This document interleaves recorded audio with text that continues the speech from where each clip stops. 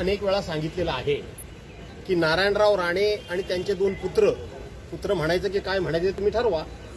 हे म्हणजे संपूर्ण कोकणाच्या संस्काराला संस्कृतीला परंपरेला प्रथेला आणि एक वैचारिक भूमिकेला लागलेला महाकलंक आहे.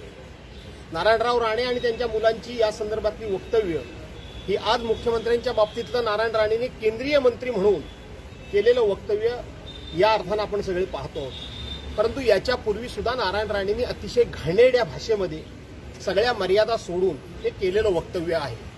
हे वक्तव्य करण्यापाठीमागचं कारण काय आहे?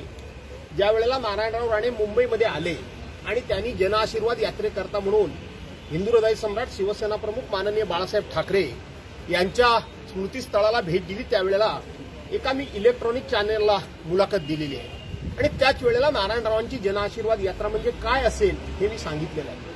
नारायणराव राणे असे का बडबडत आहेत याला कारण असं आहे की माझ्याजवळ हिंदू हृदय सम्राट शिवसेना प्रमुख मान्य बाळासाहेब ठाकरे यांनी हयात असताना एका कामाकरता फोन झाला होता की ते डॉक्टर जलील परकार आजही हयात आहेत. ते लिलावती हॉस्पिटलला डीन म्हणून मला वाटतं काम करतात. त्यांच्या फोनवरूनच शिवसेना प्रमुखांनी नारायण राणेंना दिलेला शाप आहे. आणि बाळासाहेब ठाकरे हे सिद्ध पुरुष होते.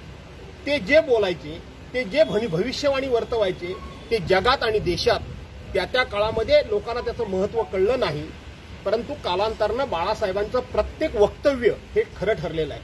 आणि म्हणून नारायणराव केंद्रीय मंत्री होऊ द्या नाहीतर आणखीन काय होऊ द्या.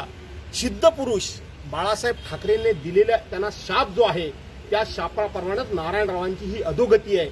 आणि नारायणराव राणेंनी आज माननीय मुख्यमंत्र्यांच्या विरोधात जे शब्द काढले किंवा जे उद्गार काढले जे कानाखाली मारीन म्हणून सांगितलं हे नारायणरावांचे ज्या पद्धतीने शिशुपालाचे शंभर गुन्हे पूर्ण झाले होते त्याप्रमाणे नारायण राणेंचे शंभर गुन्हे पूर्ण झाले आणि महाराष्ट्रातली ही माती महाराष्ट्रातले हे संस्कार महाराष्ट्राचे हे विचार महाराष्ट्राची ही परंपरा आणि महाराष्ट्राची वैचारिक भूमी आणि भूमिका ही नारायणरावांना राजकारणातनं निस्तनाभूत केल्याशिवाय राहणार नाही. सर